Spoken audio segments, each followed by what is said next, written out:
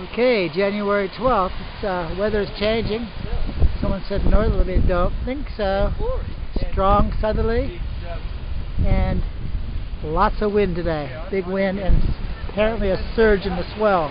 On the town side, obviously very small. Kristin Boese and Sky Solbach are professional kiteboarders. Come to Byron Bay and doing some trimming at the pass.